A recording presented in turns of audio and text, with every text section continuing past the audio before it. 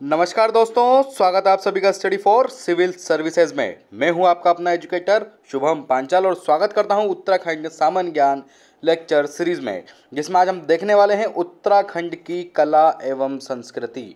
क्या देखेंगे हम इस वीडियो लेक्चर सीरीज़ में आज हम? उत्तराखंड की कला एवं संस्कृति।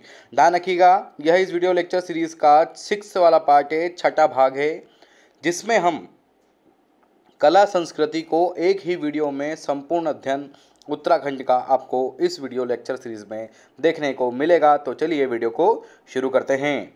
वीडियो को शुरू करने के पूर्व मैं आपसे कुछ इन्फॉर्मेशन शेयर करना चाहता हूँ। हमारे द्वारा कुछ पेड कोर्सेज चलाए जा रहे हैं, जो all civil service examinations for UPSC and other state PSC UP P P C S M P P C S एवं बी पी एस सी की आप प्री एवं मुख्य परीक्षा की तैयारी हमसे जुड़कर कर सकते हैं। यदि आप हमारे पेड कोर्सेज को लेना चाहते हैं तो स्क्रीन पर दिए गए number nine six nine six zero double six zero eight nine या eight five six four double eight zero five three zero पर संपर्क कर सकते हैं। साथ ही आप हमारा फ्री टेलीग्राम ग्रुप ज़रूर ज्वाइन कीजिए, हमको फेसबुक पे फॉलो कीजिए सर्च कीजिए at the rate study for civil services और बने रहिए हमारे साथ। तो चलिए वीडियो को आज शुरू करते हैं उत्तराखंड की कला एवं संस्कृति। चूँकि जिस प्रकार मैंने आपको बता दिया है कि आज हम पढ़ने वाले हैं उत्तराखंड की कला एवं संस्कृति, जिसमें हम वहाँ की कला, वहाँ की सांस्कृतिक धरोहर और राज्य के लोक नृत्य, राज्य के लोकगीत, वहाँ की वास्तुकला, वहाँ की मूर्ति कला वहाँ की चित्रकला, वहाँ की शिल्पकला से विभिन्न प्रकार की जो संस्कृति हमको देखने को मिलती है, जो कला एवं संस्कृति का अध्ययन हमको उत्तराखंड से संबंधित होता है, वो इस सीरीज़ में आपको देखने को मिलेगा। तो शुरुआत करेंगे हम उत्तराखंड के प्रमुख लोक नृत्य से। तो चलिए, उत्तराखंड के प्रमुख लोक नृत्य। यदि उत्तराखंड के प्रमुख लोक नृत्यों की बात की जाए तो पहला आपका जो नृत्य आता है, वह आता है आपका धार्मिक नृत्य। यदि हम धार्मिक नृत्य की बात करें तो धार्मिक नृत्य गीत एवं वाद्य यंत्रों के स्वरों द्वारा देवताओं के विशेष अलौकिक कंपन के रूप में होता है। किसके विशेष अलौकिक कंपन के रूप में होता है? देवताओं के विशेष अलौकिक कंपन के रूप में होता है।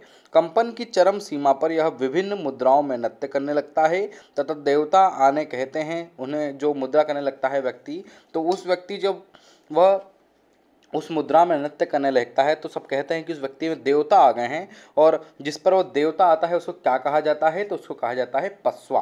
ध्यान जिस व्यक्ति पर वो देवता आते हैं उस व्यक्ति को पसवा कहा जाता है तो यह था आपका धार्मिक नृत्य। अगले नृत्य की ओर चलते हैं। अगला नृत्य आपका मृत अशांत आत्मा। देखिए, नाम से आपको समझ में आ रहा होगा कि मृत अशांत आत्मा, ना कि मृत।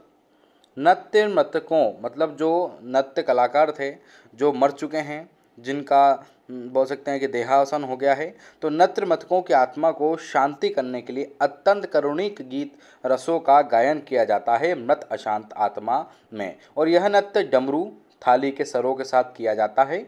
और यह नृत्य के प्रकार होते हैं जैसे चर, चर्याभूत नृत्य, विराल नृत्य, सेद नृत्य, घात नृत्य और छल्या भ्रूत नृत्य। तो ये थे आपके मृत अशांत आत्मा से संबंधित नृत्य। अगले नृत्य की ओर देखते हैं। अगला नृत्य आपका रणभूत नृत्य। देखिए डांसेस की बात हो रही है नृत्य कला की बात हो रही है तो रणभूत नृत्य के बारे में यदि हम देखें तो गढ़वाल जो क्षेत्र है आपका उत्तराखंड का, उसमें जो लोग युद्ध में वीर गति को प्राप्त होते हैं, ध्यान रखिएगा, युद्ध में जो लोग, युद्ध में जो वीर गति को प्राप्त होते हैं, उन्हें देवताओं के समान आधार बोल सकते हो कि देवताओं के समान आदर सम्मान प्राप्त होता है और रणभूत नृत्य इन्हीं शहीदों की आत्मा की शांति के लिए उनके परिजन द्वारा किया जाता है, जिसे देवता घिराना के नाम से भी जाना जाता है। क्या किस नाम से आता है इसे? देवता घिराना के नाम से भी जाना जाता है रणभूर नृत्य को।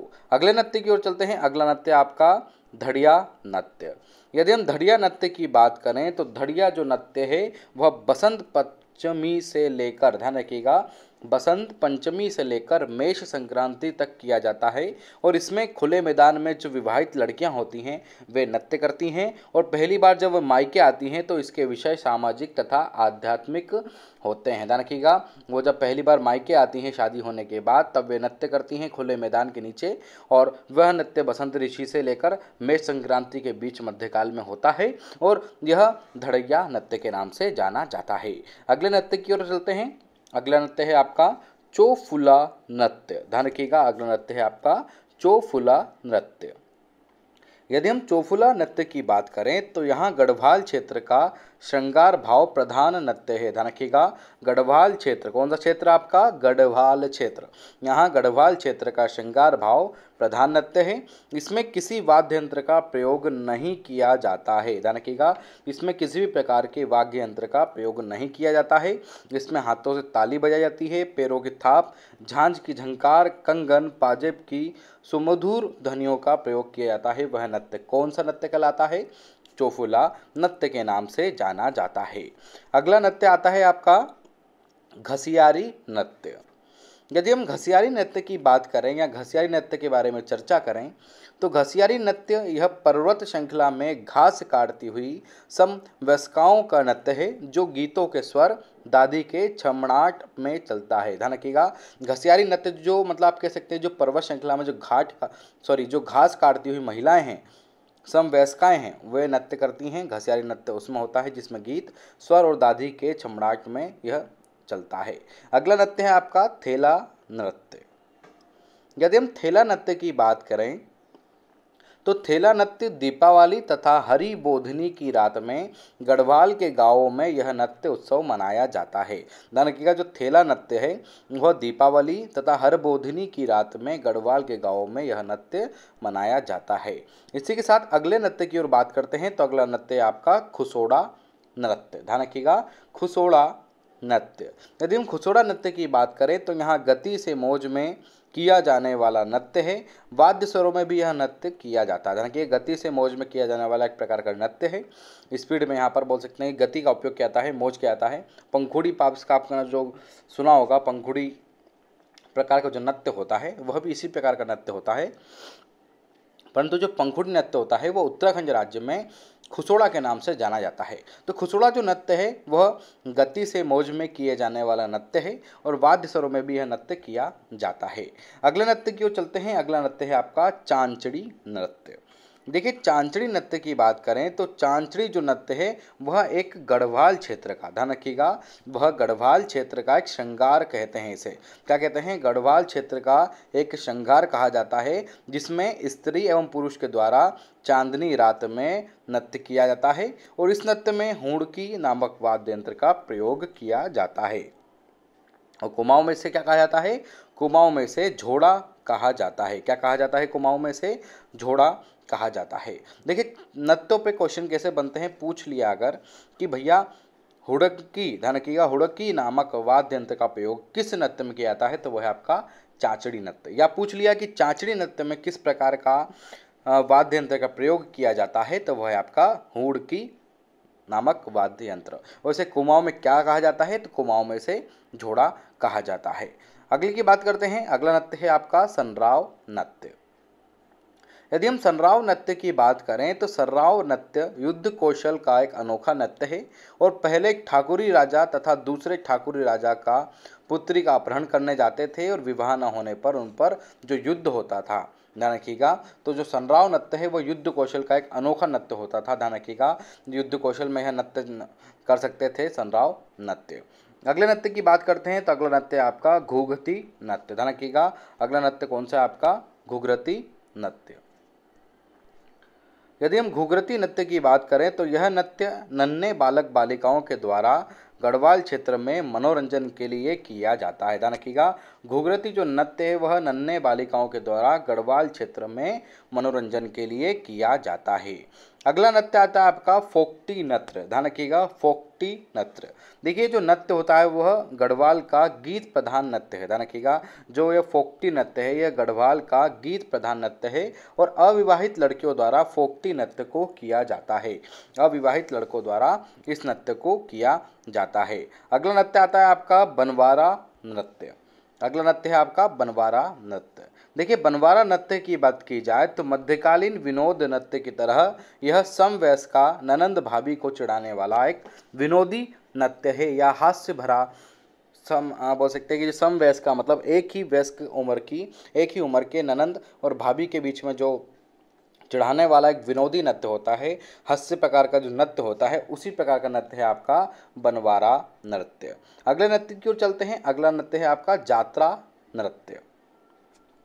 यदि हम जात्रा नृत्य की बात की जाए तो जात्रा नृत्य विशेषकर स्त्रियों द्वारा किए जाने वाला एक नृत्य है, जिसमें किसी पर्व, देवता का वर्णन मुख्य रूप से होता है और बंगाल की यात्रा इसी के समान होती है, जिसे हम किस नाम से उत्तराखंड में भी देखते हैं यात्रा यत्र। मतलब एक प्रकार से स्त्रियों द्वारा यह नृत्य किया जाता है, जिसमें किसी पर्व या देवता का मुख्य रूप से वर्णन वहाँ पर होता है।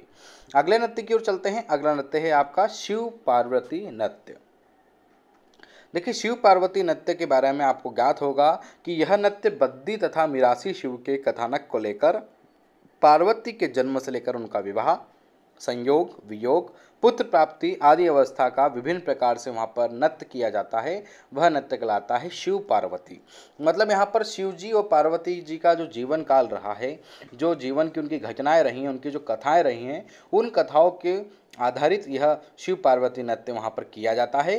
बद्दी या मिरासी शिव के कथानक को लेकर वहाँ पर शिव पार्वती विवाह किया जाता है, जिसमें उनका संयोग, उनका वियोग, उनकी पुत्र प्राप्ति, उनकी विभिन्न प्रकार की अवस्थाओं का वहाँ पर वर्णन किस रूप में किया जाता है? नृत्य के रूप में किया जाता है। अगला है आपका छोलिया नृत्य।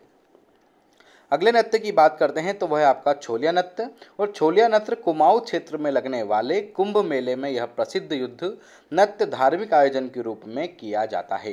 किस रूप में किया जाता है? धार्मिक आयोजन के रूप में इसका बोल सकते हैं कि आयोजन किया जाता है और यह तलवार और ढाल के साथ किया जाता है। छेलिया सॉरी छोलिया नृत्य। अगले नृत्य की बात करते हैं तो अगला नृत्य है आपका नट नटी नृत्य। ध्यान रखिएगा नट नटी नृत्य। देखिए, कला संस्कृति में बहुत इंपॉर्टेंट है क्वेश्चंस बनते हैं, चाहे वो फिर पीएससी का एग्ज़ाम हो या फिर उत्तराखंड की किसी भी जीके संबंधित एग्ज़ाम हो।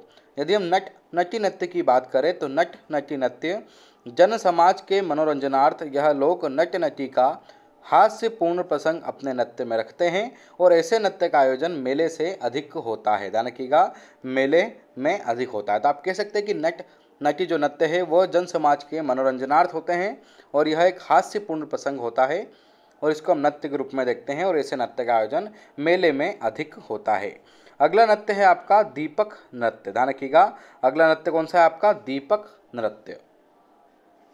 यदि हम दीपक नृत्य की बात करें तो दीपक नृत्य प्रारंभ में यह नृत्य थाली नृत्य के ही समान होता है और अंत में थाल सजाकर नृत्य की क्या करती है, उसको नष्ट कर देती है और उस पर नृत्य भी करती है। रखिएगा दीपक नृत्य रखिएगा एक प्रकार से थाली नृत्य के समान ही होता है रखिएगा और उस थाली को सजाया जाता है और उस पर नृत्य किया जाता है। अगला नृत्य आता है आपका तलवार नृत्य। अगर हम तलवार नृत्य की बात करें तो तलवार नृत्य छोलिया नृत्य भी कहा जाता है। तलवार नृत्य को हम छोलिया नृत्य के नाम से भी जान सकते हैं और ढोल दमाओं के स्वरों में तलवार चलाने का, स्त्री पुरुषों का नृत्य वीर भावना से ओत प्रोत होता है। ध्यान रखिएगा, यदि हम ढोल धमाके के स्वरों में बात की जाए तो ढोल धमाके यहाँ पर बजाए जाते हैं इस नृत्य में और यहाँ पर स्त्री पुरुषों का तलवार चलाने का वीर भावना से ओत प्रोत एक प्रकार से नृत्य है, जिसका नाम भी क्या है? तलवार नृत्य। अगला नृत्य आपका केदारा नृत्य। ध्यान रखिएगा, अगला नृत्य कौन सा है आपका? केदारा नृत्य। यदि हम केदारा नृत्य की बात की जाए तो यह ढोल दमाओं के कठोर वाद्य स्वरों, ध्यान रखिएगा, ढोल दमाओं के कठोर वाद्य स्वरों में केदारा नृत्य भी किया जाता है। अगले नृत्य की ओर चलते हैं तो अगला नृत्य है आपका थाली नृत्य। यदि हम थाली नृत्य की बात करें तो थाली नृत्य बद्दी ढोलक, ध्यान रखिएगा, बद्दी ढोलक तथा सारंगी बजाकर गीत की प्रथम पंक्ति में गाया जाता है और उसकी पत्नियाँ तालियों के साथ विभिन्न मुद्रा में नृत्य प्रस्तुत करती हैं। यह कहलाता है आपका थाली नृत्य। अगले नृत्य की चलते हैं तो अगला नृत्य है आपका चौथी पसारा नृत्य। देखिए, यदि हम चौथी पसारा नृत्य की बात की जाए तो चौथी पसारा नृत्य के महीने में क्या होता है? जो चौथ का महीना होता है, ध्यान रखिएगा, जो तो जो बोल सकते हैं, जो चौथ का महीना होता है, उसमें सारे व्यवसायिक जातियों के लोग अपने अपने ठाकुरों को घर में जाकर आगे उनके यहाँ पर गीत गाते हैं, उनके अनाज गाते हैं तो वह होता है आपका चौथी पसारा नृत्य। तो ये थे हमारा कला संस्कृति से संबंधित कुछ उत्तराखंड के विशेष नृत्य जिनको हमने यहाँ पर देखा। तो आइए शुरू करते हैं नेक्स्ट टॉपिक उत्तराखंड के प्रमुख लोकगीत। तो चलिए शुरू करते हैं उत्तराखंड के प्रमुख लोकगीत। यदि हम उत्तराखंड के प्रमुख लोकगीत की बात करें तो सर्वप्रथम जो लोकगीत आता है, वह है हमारा चोफुला गीत। देखिए, चौफूला जो गीत है, वह प्रेम एवं मिलन का गीत माना जाता है। तो आप कह सकते हैं कि यह प्रेम व मिलन का गीत है, जिसमें स्त्री व पुरुष द्वारा सामूहिक रूप से गाए जाने वाला नृत्य प्रधान गीत है। जाना क्या किस प्रकार का गीत है यह? नृत्य प्रधान गीत है। तो जो चौफुला गीत है, वह एक प्रकार से नृत्य प्रधान गीत है। इस गाँव में रतिहास, अनुयायी तथा मनुहार चारों भाव का समावेशन होता है। ध्यान रखिएगा, यह जो गीत होता है, ध्यान रखिएगा, ये गीत, माफ़ कीजिएगा, यहाँ पर गाँव नहीं है। यह गीत में रति हास अनुनय तथा मनुहार चारों प्रकार के जो भाव हैं, उनका समावेशन होता है चौफुला गीत में। तो चौफुला जो गीत है, वह प्रेम व मिलन का एक गीत माना जाता है। अगले गीत क्यों चलते हैं। अगला गीत है आपका खुदेड़ गीत। यदि हम खुदे, खुदेड़ गीत की बात करें तो खुदेड़ गीत एक प्रकार का विवाह गीत है और इस गीत का जो विषय है, वह अपने प्रियजनों, मायके वाले पति पत्नी से बिछड़ना होता है, तब खुदेड़ गीत गाया जाता है। मतलब इसका जो विषय होता है, एक प्रकार से वियोग श्रृंगार के रूप में आप इसको देख सकते हैं। जिस प्रकार यदि मैं आपको वियोग रस का एक उदाहरण बताऊँ तो हे खग, हे मृग, हे मधुकर श्रेणी, तुम देखी सीता मगनयनी ध्यान रखिएगा, हे खग मृग, हे मधुकर श्रेणी, तुम देखी सीता मगनयनी जिस प्रकार से वियोग श्रृंगार रस का उदाहरण है उसी प्रकार जो खुदेड़ गीत है, वह भी एक प्रकार का विवाह गीत है। जब वियोग होता है, जब प्रियजनों से, जब उसकी बालिका दूर होती है या पति से पत्नी दूर होता है या पत्नी से पति दूर होता है तो उसमें जो वियोग होता है, उसके रूप में खुदेड़ गीत गाया जाता है। अगले गीत की ओर बात करते हैं तो अगला गीत है आपका चौमासा गीत। यदि चौमासा गीत की बात की जाए तो चौमासा गीत यह राह विरह गीत है ध्यान रखिएगा यह राह विरह गीत है। अधिक वर्षा तथा प्रिया मिलन की आशा में चौमासा गीत गाया जाता है। ध्यान रखिएगा प्रिया मिलन की आशा में यह चौमासा गीत गाया जाता है। अगले गीत की ओर चलते हैं। अगला गीत है आपका छपेली गीत। ना रखिएगा अगला गीत कौन सा है आपका? अगला गीत है आपका, छपेली गीत। देखिए, जो छपेली गीत है, वो मेला और विवाह आदि उत्सव पर गाया जाता है। तय रखिए, जो छपेली गीत है, वो मेला एवं विवाह आदि उत्सव पर गाया जाता है। अगले गीत की ओर चलते हैं। अगला गीत है आपका, झुमेली गीत। देखिए जो झुमेली गीत है, वह गढ़वाल क्षेत्र में बसंत पंचमी से विषुवत संक्रांति के बीच में गाए जाने वाला एक वेदनापूर्ण गीत है। ध्यान रखिएगा, कैसा गीत है? एक वेदनापूर्ण गीत है, जिसमें नारी हवाई की वेदना और सौंदर्य को बखूबी रूप से प्रस्तुत करती है। ध्यान रखिएगा, झुमेती गीत में बसंत ऋषु से, बसंत जो ऋतु होती है, वहाँ से विषुवत संक्रांति के बीच में यह गीत गाया जाता है। वेदनापूर्ण गीत होता है और यह महिलाओं द्वारा, नारी द्वारा प्रस्तुत किया जाता है। अगला गीत आता है आपका, बारह मासा गीत। यदि बारह मासा गीत की बात की जाए तो बारह मासा गीत में इस प्रकार के गीतों में बारह महीनों के लक्षणों का वर्णन किया जाता है और यह मुख्य रूप से मौसम पूर्व तथा प्राकृतिक सौंदर्य को वर्णित करते हैं। ध्यान रखिएगा, जो बारह मासा गीत है, इस प्रकार के गीतों में बारह महीने के लक्षणों का वर्णन किया जाता है और यह गीत मुख्य रूप से मौसम पूर्ण तथा प्राकृतिक सौंदर्य को वर्णित करता है बारह मासा गीत। अगला गीत आता है आपका बाजूबंद नृत्य गीत।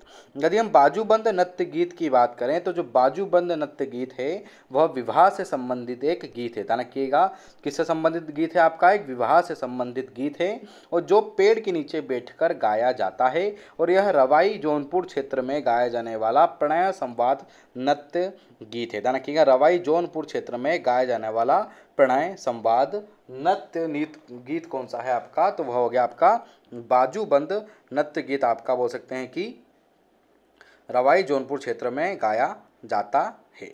अगले गीत क्यों चलते हैं। अगला गीत है आपका चुरा गीत। यदि हम चुरा गीत की बात करें तो जो चुरा गीत है, वह युवा चरवाहों को सीख देने के लिए बूढ़े चरवाहों द्वारा गाया जाता है। देखिए, जो चुरा गीत है, वो जो चारा, जो चरवाह होते हैं मतलब जो गाय, भैंस जो चराते हैं, जो चारावाहक के रूप में होते हैं, जो चारा बोल सकते हैं कि जो चरवाह होते हैं, जो वहाँ के उनके पशुओं को चारा प्राप्ति हेतु उनको घुमाते हैं, उनका विचरण करते हैं, उनको एक प्रकार से सीख देने के लिए, जो नए नए युवा होते हैं, उनको सीख देने के लिए वहाँ के बूढ़ो चरवाहों द्वारा यह गीत गाया जाता है, चुरा गीत। अगला गीत है आपका चौथी पसारा गीत। यदि हम चौथी पसारा गीत की बात की जाए तो चौथी पसारा गीत ओजी बद्दी मिरासी आदि जाति के लोग अपने यजमान के यहाँ पर आने पर इस प्रकार के गीत गाते हैं तथा उनकी स्त्रियाँ नृत्य करती है। मतलब ये जो जाति हैं, ओजी बद्दी मिरासी, यदि इनके घर में कोई मेहमान आता है, कोई यजमान पधारते हैं तो उनके लिए चौथी पसारा गीत गाया जाता है और उन पर उनकी जो नृत्य बोल सकते हैं, उनकी जो स्त्रियाँ होती है, वे वहाँ पर नृत्य भी करती हैं। अगला नृत्य है आपका कुलाचार विरदू, विरुदावली गीत। ध्यान रखिए कुलाचार विरुदावली गीत। यदि हम कुलाचार विरुदावली गीत की बात की जाए तो यह गीत अजी तथा बद्दी जाति के लोग मांगलिक अवसरों पर अपने यजमान के घर गाते हैं और उन गीतों में यजमान उनकी जाति वंश का गुणगान भी करते हैं। अगले गीत को चलते हैं। अगला गीत है आपका जागर गीत। देखिए, जागर गीत की बात की जाए तो जागर जो गीत होते हैं, वो देवताओं के गीत माने जाते हैं। इसमें विभिन्न संप्रदाय का भी प्रभाव मिलता है और इन्हें देवताओं, पौराणिक व्यक्तियों के आह्वान तथा सम्मान में इनको गाया जाता है। जिसमें डमरू, थाली, गुड़ की ढोली आदि वाद्य यंत्रों का भी प्रयोग किया जाता है। अगले गीत क्यों चलते हैं। अगला गीत है आपका हुड़के बोल गीत। ध्यान रखिएगा, हुड़के बोल गीत। यदि हम हुड़के बोल गीत की बात करें तो हुड़के बोल गीत जो है, वह जीत कृषि से संबंधित तथा कुमाऊं में प्रचलित है। ध्यान रखिएगा, यह कृषि से संबंधित है, यह गीत है ध्यान रखिएगा, यह गीत, ये जीत नहीं है, मैं क्षमा चाहूँगा, मिसप्रिंट है। यह गीत कृषि एवं संबंधित तथा कुमाऊं में प्रचलित है। इस गीत को कृषक पुष्प पुण्य के साथ खेतों में काम करते हुए भी गाया जाता है, जिसका नाम है हुड़के बोल गीत। अगले गीत क्यों चलते हैं। अगला गीत है आपका, छोपती गीत। यदि हम छोपती गीत की बात करें तो छोपती गीत मुख्य सामूहिक रूप से गाया जाने वाला प्रिय मिलन प्रधान गीत है और ये मुख्य रूप से खाई, जौनपुर में अधिक प्रचलित है और इस प्रकार की विशेषता है कि इसमें हुड़का बजाने वाला ही गीत गाता है तथा जो अन्य व्यक्ति होते हैं, वो इस गीत का आनंद लेते हुए नृत्य करते हैं। तो छोपती गीत ध्यान रखिएगा हुड़का बजाने वाला गीत जो होता है व्यक्ति, वही गाता है और अन्य व्यक्ति वहाँ पर नृत्य करते हैं। अगला गीत है आपका बेर गीत। अगला नृत्य कौन सा हो गया आपका? बेर गीत। यदि हम बेर गीत की बात करें तो जो बेर गीत है, वह कुमाऊं क्षेत्र में प्रतियोगिताओं के रूप में आयोजित होने वाला एक प्रकार का तर्क प्रधान नृत्य गीत है। जिसमें बेरिया, कुशाग्र बुद्धि वाले गायन के माध्यम से अपना पक्ष रखते हैं। वह कौन सा कहलाता है? बेर गीत नृत्य कहलाता है। अगला नृत्य है आपका बसंती गीत। अगला नृत्य कौन सा है आपका? बसंती गीत। देखिए, यदि बसंती गीत की बात की जाए तो बसंत ऋतु के आगमन पर गढ़वाल क्षेत्र की जो किशोरियाँ हैं, वे घर के आँगन में दहली को सजाती हैं और उस पर गाना गाती हैं और दहलियों को तथा द्वारों को सजाने के लिए जो किशोरियाँ होती हैं, वो फायुली के फूल का प्रयोग करती हैं तथा ये जो गीत होते हैं, यह गीत विरह प्रकार के गीत होते हैं। देखिए, बसंत गीत मतलब सीधी सी बात है, बसंत ऋतु के आगमन पर जिस प्रकार पेड़, पौधे, जीव, जंतु खुशी मनाते हैं, उसी प्रकार जो व्यक्ति हैं जो जनता है, वह भी एक प्रकार से जो उत्तराखंड में यदि हम विशेष देखें तो उत्तराखंड की जो किशोरियाँ हैं, वे भी घर की आँगन को सजा देती हैं, दहलियों को सजा देती हैं फाइव लू के फूलों का वहाँ पर प्रयोग किया जाता है और वहाँ पर गीत गाया जाता है, उसको कहा जाता है बसंती गीत। अगला है आपका ठुल खेल गीत। यदि हम ठुल खेल गीत की बात की जाए तो ठुल खेल जो गीत है, वह गीत भाद्रपद माह में कृष्ण जन्माष्टमी के अवसर पर कुमाऊँ क्षेत्र में पुरुषों द्वारा गाया जाता है। जो ठुल खेल गीत कहाँ जाता है? भाद्रपद माह में, कृष्ण जन्माष्टमी का अवसर पर कुमाऊं क्षेत्र में पुरुषों द्वारा गाया जाता है। अगला गीत है आपका, भंडो गीत। यदि हम भंडो गीत की बात करें तो गढ़वाल क्षेत्र में इन गीता को पौड़ा गीत भी कहा जाता है। और यह मुख्य रूप से वीरों की जीवनी से संबंधित होते हैं, जिनको क्या कहा जाता है? भंडो गीत कहा जाता है। अगला गीत है हमारा अगला, रम्माण। नेक्स्ट चलते हैं हम। नेक्स्ट है आपका रम्माण। यदि हम नेक्स्ट क्यों चलते हैं तो जो नेक्स्ट हम देखने वाले हैं, वह है आपका रम्माण। और रम्माण नृत्य में बहुत से देवताओं के मुखोटे लगाकर नृत्य प्रदर्शन किया जाता है। यूनेस्को ने रम्माण विश्व अमूर्त सांस्कृतिक धरोहर को भी अपने यूनेस्को की लिस्ट में शामिल किया है तो उत्तराखंड के लिए बहुत इंपॉर्टेंट है। इसको मैं यहाँ पर एक स्टार दूँगा, ज़रूर पढ़िएगा। रम्मान नृत्य के बारे में, कि जो रम्मान नृत्य है भैया जी, ध्यान रखिएगा, इसमें बहुत से देवताओं के मुखटे लगाकर नृत्य प्रदर्शन किया जाता है। और यूनेस्को ने रम्मान विश्व अमूर्त सांस्कृतिक धरोहर को भी रम्मान के रूप में शामिल किया है। अगला आता है आपका भगनोल गीत। अगला नृत्य सॉरी माफ़ कीजिएगा, अगला गीत कौन सा है? अगला गीत है आपका भगनोल गीत। यदि हम भगनोल गीत की बात की जाए तो भगनोल गीत अनुभूति प्रधान कुमाऊं क्षेत्र के गीत मेलों के हुड़के तथा नगाड़ों की धुन पर नृत्य करते हुए गाया जाता है और न्यूली भी क्षेत्र का अनुभूति प्रदान करता हुआ एक गीत मान सकते हैं। तो भनगोल गीत धनकी का कुमाऊं क्षेत्र में हुड़के तथा नगाड़ों की धुन पर नृत्य करते हुए गाया जाता है। तो ये थे आपके प्रमुख कला संस्कृति से संबंधित कुछ नृत्य हमने देखे, उसके बाद हमने कुछ गीत देखिए। आइए अगला टॉपिक देखते हैं, जो है हमारा उत्तराखंड की वास्तुकला। तो आइए शुरू करते हैं उत्तराखंड की वास्तुकला। देखिए, तुम उत्तराखंड की वास्तुकला की बात करें तो राज्य में वास्तुकला के जो प्राचीनतम साक्ष्य हैं ध्यान रखिएगा जो प्राचीनतम सबूत हैं, वह काली सी नदी से लेकर माफ़ कीजिएगा, काली सी के निकट से लेकर जगत ग्राम के उन स्थलों से प्राप्त हुए हैं, जहाँ पर शील वर्मन ने अश्वमेघ यज्ञ कराया था। दानकी का कालसी जो है, कालसी, दानकी कालीसी नहीं है, वो कालसी है। कालसी के निकट से लेकर जगत ग्राम तक उन स्थलों में प्राप्त होते हैं वास्तुकला के प्राचीनतम साक्ष्य, जो कि शील वर्मन ने जो अश्वमेघ यज्ञ कराया था। अब, राज्य में यदि हम वास्तुकला की विकास की बात करें तो स्टेट के वास्तुकला के यदि हम डेवलपमेंट की बात करें तो उसका जो विकास है, मुख्य रूप से चार रूप में देखा गया है। सामान्य भवन, देवालय, राजप्रसाद और नौले में यदि हम देखें तो ये चार प्रकार की वास्तुकलाएँ हैं, जिनको हम यहाँ पर डिटेल्स में आगे हम पढ़ेंगे। यदि अगले पॉइंट की बात की जाए तो भवन निर्माण करने वाले जो कारीगर हैं और जो भवन निर्माण करते हैं, उनको कारीगर या मिस्त्री कहा जाता है, ऐसा यहाँ पर दिया गया है। अगला है, सामान्य भवन की पहली तथा दूसरी तथा तीसरी मंजिल को क्रमशः गाढ़ पान तथा प्योल कहा जाता है। देखिए, जो पहली मंजिल होती है, उसको गाढ़, दूसरी मंजिल को पान तथा तृतीय मंजिल को प्योल कहा जाता है उत्तराखंड में। तो दानकी का वास्तुकला का ही एक कुछ पॉइंट होते हैं दानकी गाढ़, पान और प्योल किससे संबंधित है? तो आपको याद होना चाहिए, भवन कला से संबंधित हैं। अगला है आपका, राज्य में बद्रीनाथ, केदारनाथ, गंगोत्री, यमुनोत्री, हरिद्वार की जो यात्रा है, मार्गों पर असंख्य देवालय, आश्रम स्थित है, जो यहाँ की वास्तुकला को भी दिखाते हैं। इसके साथ साथ जगत ग्राम में ईंटों से बनी एक गरुड़ आकार की वेदिका भी प्राप्त हुई अब क्वेश्चन आ गया कि गरुड़ आकार की जो वेदिका है, वह कहाँ पर प्राप्त हुई है? तो वह ईंटों से बनी हुई कहाँ पर प्राप्त हुई है? तो वह हुई आपकी जगत ग्राम में ईंटों से बनी एक गरुड़ आकार की वेदिका प्राप्त हुई है। तो ये छोटा सा वास्तुकला के रूप में मैंने आपको बताया है। अब हम आइए अगला टॉपिक शुरू करते हैं, उत्तराखंड की मूर्ति कला। देखिए, उत्तराखंड की यदि मूर्ति कला की बात की जाए तो उत्तराखंड में अधिकांश जो मूर्तियाँ हैं, वो स्थापत्य कृतियों के रूप में देखने को मिलती हैं। ध्यान रखिएगा, स्थापत्य कृतियों के रूप में देखने को मिलती हैं, जिनका निर्माण प्राय मंदिरों के भ्राचीरों, गवक्षों आधार पीठिकाओं छत तथा स्तंभों तथा शिला पट्टिकाओं पर हुआ है। वे हम मूर्तिकला स्थापत्य हम यहाँ पर देखने वाले हैं। तो उत्तराखंड में जो जो धाम हैं जो जो धर्म हैं, उनसे संबंधित जो मूर्तियाँ प्राप्त हुई हैं, उनसे संबंधित हम यहाँ पर देख लेते हैं। तो सबसे पहले शिव धर्म से संबंधित मूर्तियों को हम यहाँ पर देखने वाले हैं। शिव धर्म से संबंधित मूर्तियाँ, सर्वप्रथम लकुलिश की मूर्तियाँ। लकुलिश की मूर्ति। देखिए, लकुलिश की मूर्ति की बात की जाए तो जागेश्वर के लकुलेश मंदिर में शिव जी की मूर्तियाँ प्राप्त हुई हैं। इनमें ही शिव का रूप उल्लेख किया गया है, जिनमें भव्य मुखट जटाओं से मंडित उनको बताया गया है। कानों से लटकते हुए आभूषण तथा कारुणिमा आभा को यहाँ पर दिखाया गया है, वह आपके लकुलिश की मूर्तियाँ। तो लकुलिश की जो मूर्तियाँ हैं, वो जागेश्वर के लकुलेश मंदिर में शिव जी की मूर्तियाँ प्राप्त हुई हैं।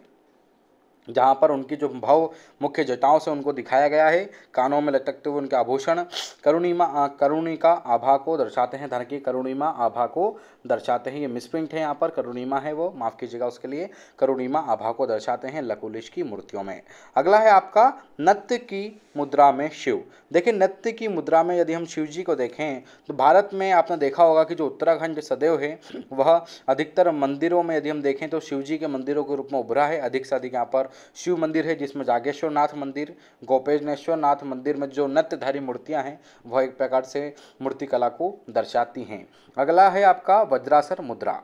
वज्रासन मुद्रा। देखिए, वज्रासन मुद्रा के रूप में यदि हम देखें तो केदारनाथ मंदिर का जो द्वार पट्टिका है, ध्यान रखिएगा, केदारनाथ मंदिर के जो द्वार पट्टिका है, वहाँ की शिव की वज्रासन मुद्रा उत्कीर्ण की गई है, और शिव का वीणाधार स्वरूप जो है, नाग डमरू तथा अमरपाल से जो मंडित किया गया है, और जो द्वार पट्टिका भी हम वर्तमान में देखें तो कुछ रूप से खंडित हो चुकी है तो वहाँ पर आपको वज्रासन मुद्रा देखने को मिलती है। अगला है आपका बेजनाथ की मूर्ति। अगला है आपका बेजनाथ की मूर्ति। यदि हम बेजनाथ की मूर्ति की बात की जाए तो बेजनाथ की मूर्ति के चार हाथ से जो विभिन्न मुद्राओं दिखती हैं, उनकी जांग पर पार्वती जी विराजमान हैं जिन्होंने मल्हार, करघनी आदि आभूषण धारण किए हैं, और बैजनाथ का प्राचीनतम नाम क्या है? ब्रह्मनाथ कहा जाता है। अगला है आपका बद्रीनाथ की मूर्ति। देखिए, जो बद्रीनाथ की मूर्ति है की बात की जाए तो इस मूर्ति के अधिकांश लक्षण काली मठ की प्रतिमा से मिलते हैं। और इस मूर्ति की दस भुजाएँ तथा तीन मुख है। ध्यान रखिएगा, जो बद्रीनाथ की मूर्ति है, उनकी दस भुजाएँ तीन मुख हैं, जो अब तक प्राप्त शिव मूर्तियों में सबसे विशिष्ट लक्षण और अलग प्रकार की विशेषता को दर्शाती है बद्रीनाथ की मूर्ति। अगली मूर्ति और चलते हैं। अगली मूर्ति है आपकी नृत्य करते गणपति जी की मूर्ति। ध्यान रखिएगा, नृत्य करते गणपति बब्बा की मूर्ति। देखिए, नृत्य करते गणपति जी की मूर्ति की बात की जाए तो जोशी मठ में गणेश जी की केवल एक नृत्यधारी मूर्ति मिलती है, जो कि शैली और मुद्रा की दृष्टि से उत्तराखंड को एक अलग, बोल सकते हैं कि मुद्रा कला के रूप सॉरी एक अलग मूर्ति कला के रूप में दर्शाती है और इस मूर्ति में गणेश देवता नृत्य मुद्रा में आठ भुजाओं से युक्त है। मतलब उनकी आठ भुजाएँ हैं और नृत्य कला में गणेश जी विराजमान यहाँ पर हैं। तो दाना के कहाँ पर विराजमान है? जोशी मठ में। गणेश जी की एकमात्र ऐसी विशिष्ट प्रकार की मुद्र मूर्ति वहाँ पर आपको देखने को मिलेगी। अगला है आप हमारा लाखा मंडल की मूर्ति। देखिए लाखा मंडल की जो मूर्ति है, वह भी एक गणेश जी की मूर्ति है, गणपति बब्बा मौर्य। रखिएगा तो लाखा मंडल की मूर्ति की बात की जाए तो गणपति जी की एक विशिष्ट मूर्ति है, और मूर्ति के चार हाथ एवं क्षेत्र है, जो क्रमशः दो पंक्तियों में तीन तीन की संख्या में स्थापित होते हैं, जिसमें गणपति एक मोर की पीठ पर सवार हैं, तथा दोनों ओर जो दो मोर हैं, जो देवताओं की ओर निहार रहे हैं, तथा इस मूर्ति पर दक्षिण कला का प्रभाव भी हमको देखने को मिलता है। तो लाखा कंडल की जो, लाखा मंडल की जो मूर्तियाँ हैं, मैं आपको बता चुका हूँ कि गणेश जी की मूर्तियाँ हैं और उनके चार हाथ रहे, चार हाथ हैं और दो पंक्तियों में तीन तीन संख्या में स्थापित हैं। ध्यान रखिएगा, एक गणपति जी मोर की पीठ पर सवार हैं और दोनों तरफ़ दो मोर हैं जो देवता की ओर निहार रहे हैं और इस मूर्ति पर दक्षिण कला का प्रभाव भी हमको उत्तराखंड की भूमि पर देखने को मिलता है। अब आता है हमारा शिव धर्म के बाद वैष्णव धर्म से संबंधित मूर्तियाँ। अब हम यहाँ पर देखेंगे कि वैष्णव धर्म से संबंधित कौन कौन सी मूर्तियाँ माफ़ कीजिएगा, मूर्तियाँ उत्तराखंड स्टेट में हमको देखने को मिलती हैं। तो आइए शुरू करते हैं। देखिए शिव धर्म की यदि हम बाद में देखें तो उत्तराखंड का जो प्रमुख दूसरा धर्म है, वह है आपका वैष्णव संप्रदाय या वैष्णव धर्म। यहाँ पर केदार की भांति पंचबद्री की कल्पना तथा विष्णु के जन्म से संबंधित भी मूर्तियाँ हमको उत्तराखंड में देखने को मिलती हैं। तो आइए शुरू करते हैं। पहला है हमारा विष्णु की देवलगढ़ की खड़ी मूर्ति। ध्यान रखिएगा, विष्णु की देवलगढ़ की खड़ी मूर्ति। देखिए विष्णु की देवलगढ़ की खड़ी मूर्ति की बात की जाए तो इस मूर्ति में साज सज्जा पर विशेष बल दिया गया है, जिसमें शरीर के खाली भागों की सुगमता को देखना बहुत ही कठिन होता है, क्योंकि पूरी जो मूर्ति है देवलगढ़ की, विष्णु जी की वह पूरी की पूरी विशेषता बोल सकते हैं। इसकी क्या है कि वह पूरी की पूरी आभूषणों से साज सज्जा डिज़ाइन से भरी हुई है। अगली मूर्ति है आपकी वामन मूर्ति। देखिए, विष्णु के जो पाँच अवतार हैं, उनके जो प्रतीक हैं वामन, उनकी प्रतिभा काशीपुर में मिली है, जो कि रेतीले पत्थर से निर्मित है। तो आप बोल सकते हैं, वामन मूर्ति जो वामन अवतार हुआ था, उन अवतारों में से वामन जी की प्रतिमा काशीपुर, उत्तराखंड में देखने को मिलती है, जो कि रेतीले पत्थर से निर्मित है। अगली मूर्ति है आपकी शेष शयन मूर्ति। यदि हम शेष शयन मूर्ति की बात करें तो शेष शयन मूर्ति विष्णु की है। एक अधिकांश मूर्तियों में से एक मूर्ति है, जिसकी प्राचीर, जिसकी मंदिरों की प्राचीर पट्टिकाओं छतों तथा द्वारों पर उत्कीर्ण की गई है शेष शयन मूर्ति। अब वैष्णव मूर्तियों की बात आती बाद आता है हमारा ब्रह्मा की मूर्तियाँ। देखिए, ब्रह्मा जी की मूर्तियों की बात करें तो ब्रह्मा देवता की सबसे पहली जो मूर्ति है, वो घाट में रत्ना देवी के छोटे मंदिर की शीश पट्टिका पर उत्कीर्ण मिलती है, जिसमें देवता की चार भुजाएँ दिखाई गई हैं और वह कमल पर आसित हैं। अब सीधी सी बात है, ब्रह्मा जी हैं तो कमल पर आसित होंगे सही, चार भुजा होंगे सही, आपने ज़रूर देखी होगी। इसके बाद इसकी जो दूसरी मूर्ति है, वह कहाँ पर मिलती है? तो ब्रह्मा जी की दूसरी मूर्ति उत्तराखंड में बैजनाथ संग्रहालय से प्राप्त होती है। अगली मूर्ति की ओर चलते हैं। अगली मूर्ति में देखेंगे हम सूर्य तथा नव ग्रहों की मूर्तियाँ। उत्तराखंड में कौन कौन सी देखने को मिलती हैं? तो चलिए, सूर्य पूजा से संबंधित यदि हम उत्तराखंड में मूर्तियों की बात करें तो उनमें से जागेश्वर द्वाराहाट तथा बैजनाथ की जो सूर्य प्रतिमा है, उनको हम यहाँ पर देखने वाले हैं। जिसमें यदि हम द्वारा हाट की बात करें तो दो द्वारा हाट है। इसमें सूर्य की जो मूर्ति है, वह देवता संभंग मुद्रा में खड़े हुए हैं। ध्यान रखिएगा, इस मूर्ति में देवता संभंग मुद्रा में खड़े हुए हैं। अगला, जो जागेश्वर की जो सूर्य मूर्ति के बारे में यदि मैं आपको थोड़ी डिटेल देना चाहूँ तो जागेश्वर की जो सूर्य मूर्ति है, इस मूर्ति की यदि हम देखें तो इस मूर्ति की जो ऊंचाई है, वह तीन फीट है तथा काले पत्थर से निर्मित यह जागेश्वर की सूर्य मूर्ति है। और देवता संभंग मुद्रा मुद्रा में सात घोड़े से मंडित रथ में खड़े हैं, तथा मध्य के अश्व पर अरुण आसित हैं। आपने देखा होगा सूर्य भगवान को सात प्रकार की घोड़ों से मंडित रथ में बैठे हैं और अश्व पर अरुण उनके आसीन है। रखिएगा, जागेश्वर की सूर्य मूर्ति की हमने विशेषता यहाँ पर देखी है। अब हम बात करेंगे उत्तराखंड के देवताओं की बात हो गई तो हम देवतियों, देवियों से अछूते नहीं रह सकते, इसलिए हम देखेंगे उत्तराखंड में देवियों की मूर्तियाँ। सर्वप्रथम बात करेंगे मेखंडा की, पार्वती माता की मूर्ति। देखिए, यदि मेखंडा की पार्वती जी की मूर्ति की बात करें तो पार्वती को माया गौरी के नाम से भी जाना जाता है और उत्तराखंड में इनकी बहुत सारी मूर्ति मिलती है और जिनमें देवी अंजलि, हस्त मुद्राओं में भी आसीन है, जो कहाँ पर मिली है? आपको खंडा में मिली है। अगला है हमारा लाखा मंडल की गौरी प्रतिमा। गौरी वही माँ गौरी, एक पार्वती का रूप। देखिए लाखा मंडल की गोरी प्रतिमा की बात करें तो इस मूर्ति में देवी जी को तपस्या करते हुए दिखाया गया है, जो विचार लपटों के मध्य खड़ी हुई है और शैली की दृष्टि से यह मूर्ति आठवीं, नौवीं शताब्दी की प्रतीत होती है लाखा मंडल की गौरी। प्रतिमा। अगली प्रतिमा है हमारी, अगली मूर्ति है हमारी दुर्गा माता की मूर्ति। देखिए, दुर्गा की मूर्तियों की बात की जाए तो दुर्गा की मूर्तियाँ बेजनाथ संग्रहालय से दुर्गा खड़ी मूर्ति तथा जागेश्वर काली मठ की सिंह वाहनी प्रतिमाएँ विशेष रूप से देखने को मिलती हैं। महिषा, महिषासुर मर्दिनी माता की बात की जाए तो जो शक्ति रंभा देवी का है, वह उत्तराखंड में बहुत फ़ेमस हैं और इस देवी के कहा जाता है कि इस रोग की प्रथम मूर्ति चंबा से मिलती है दानखी रखिएगा इस प्रकार की जो रोग नहीं है माफ़ कीजिएगा यहाँ पर, इस प्रकार की जो प्रथम मूर्ति है, वह चंबा से देखने को मिलती है, महिषासुर मर्दिनी माता की जय। अगला है हमारा गाज लक्ष्मी देखिए गाज लक्ष्मी की बात करें तो गाज लक्ष्मी जो मूर्ति है, वह द्वाराहाट तथा अल्मोड़ा से प्राप्त हुई है। तो यह थी उत्तराखंड की मूर्तिकला, जो कि समाप्त हो चुकी है। तो आइए शुरू करते हैं उत्तराखंड में चित्रकला। ध्यान इस पूरे वीडियो में आपको कला संस्कृति पूर्ण डिटेल में एक वीडियो में आपको देखने को मिल जाएगी। तो आइए शुरू करते हैं उत्तराखंड में चित्रकला। शुरुआत करते हैं प्राचीन कालीन चित्रकला से।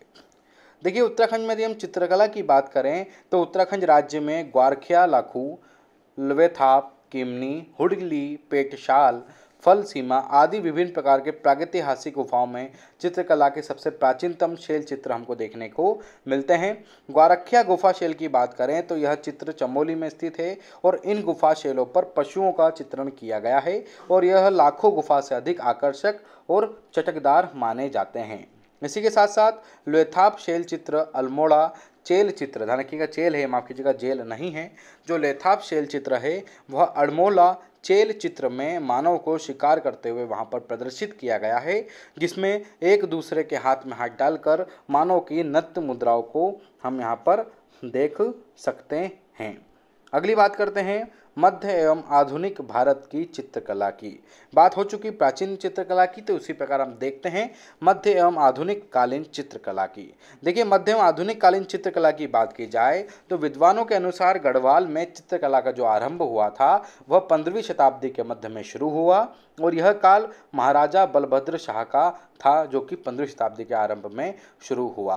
अब जब महाराजा बलभद्र शाह ने काशी के कलाकारों से अपनी राजधानी जो उनकी श्रीनगर थी, वहाँ पर किसका निर्माण कराया? वहाँ पर एक राजमहल का निर्माण करवाया तथा उस समय राज्य प्रसाद में चित्रकला निर्मित भी करना शुरू हो गई थी। इसके बाद महाराजा बलभद्र शाह के बाद वहाँ के राजा फतेह शाह द्वारा चित्रकला का पोषण किया गया तथा साहित्यकारों को भी प्रश्रय दिया गया, साहित्यकारों को भी बढ़ावा दिया गया।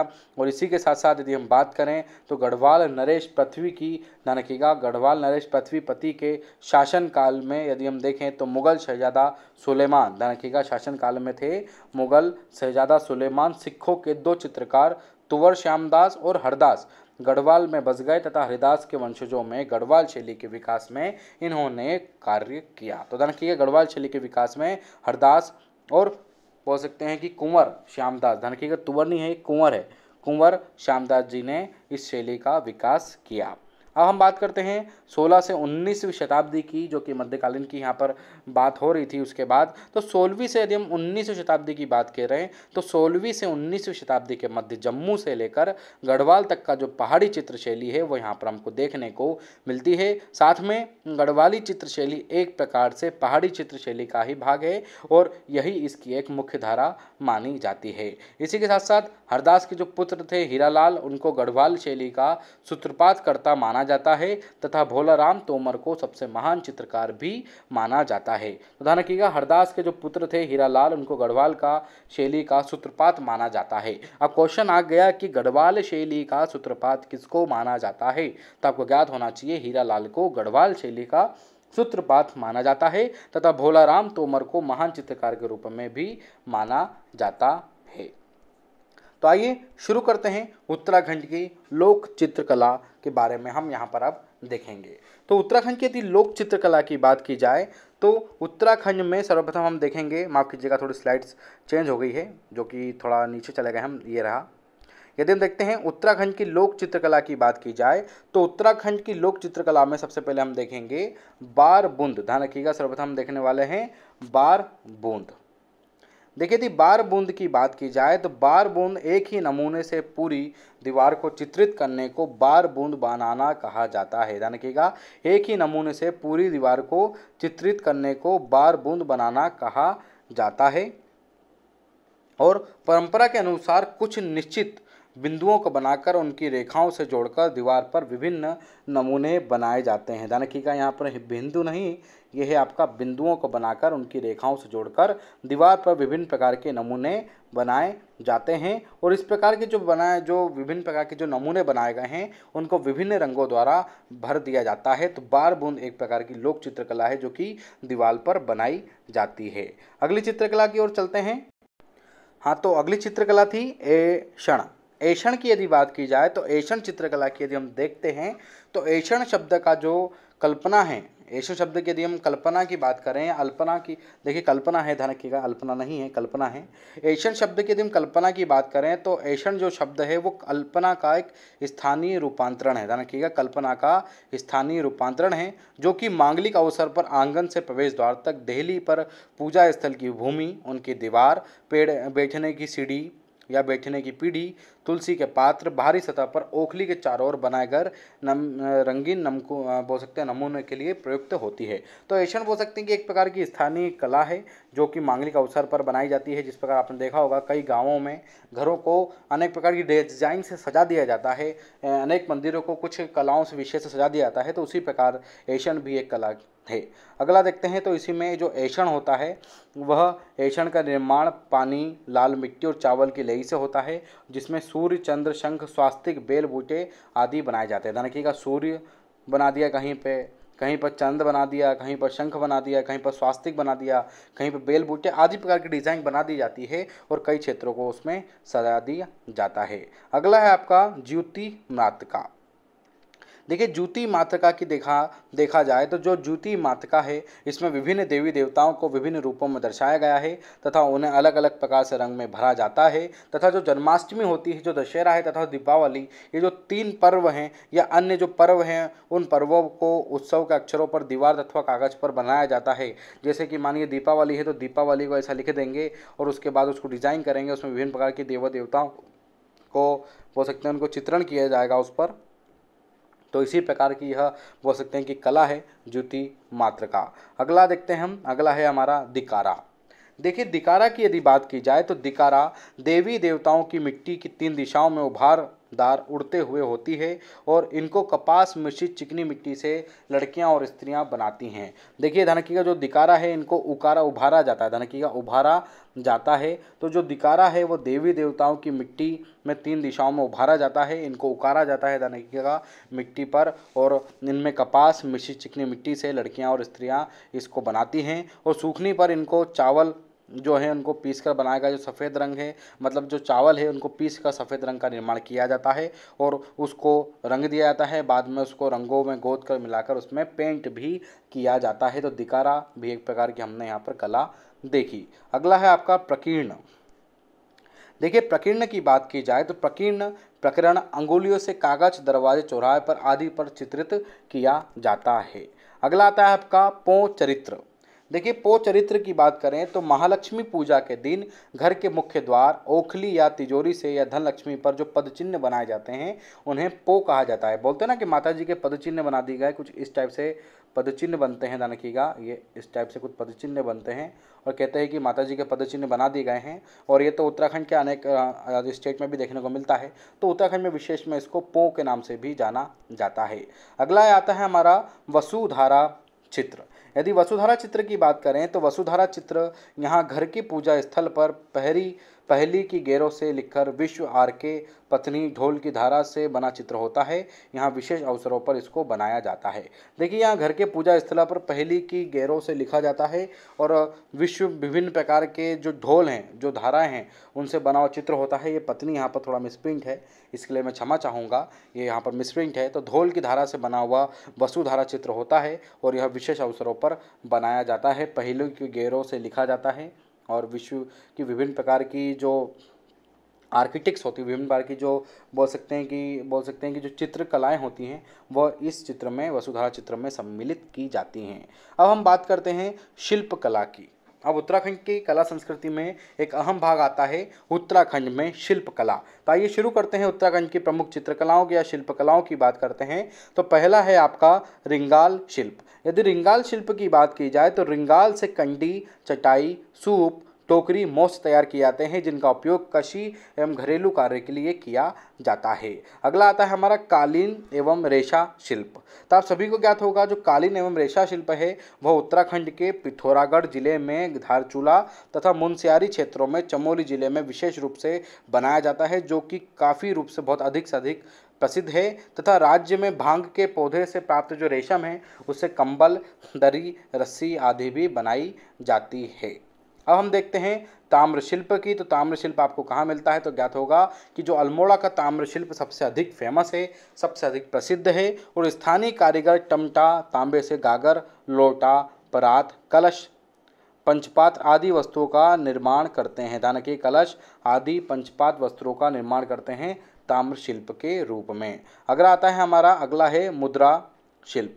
मुद्रा शिल्प में देखें तो मुद्रा शिल्प में राज्य के सभी क्षेत्रों में मिट्टी के बर्तन, दीप ठिकाने बनाने का कार्य किया जाता है, जिनमें सुराही, कलश, गमला, गुल्लक, चीलम आदि प्रमुख रूप से हमको देखने में मिलती है।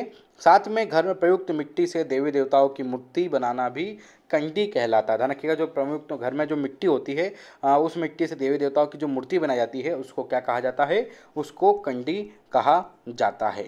यदि हम चर्म शिल्प की बात करें तो चर्म शिल्प यदि हम देखें तो उत्तराखंड में स्थानीय भाषा में चमड़े का कार्य करने वाले बढ़ाई को शार्की कहा जाता है। मतलब जो चमड़े कार्य करते हैं, उनको बढ़ाई या शार्की कहा जाता है, जो मुख्य रूप से लोहा घाट जोहार घाटी, नाचनी आदि में चर्म शिल्प का कार्य हमको देखने को उत्तराखंड में मिलता है। अगला आता है हमारा कास्ट शिल्प। देखिए, अगला है हमारा कास्ट शिल्प। यदि कास्ट शिल्प की बात करें तो उत्तराखंड राज्य की जो लकड़ी है, वो वहाँ वहाँ बहुत ज़्यादा फ़ेमस है और उत्तराखंड राज्य में लकड़ी की अधिकता और वहाँ की प्रधानता के कारण कास्ट शिल्प सदैव के लिए प्रसिद्ध रहा है। और लकड़ी से पाली लकड़ी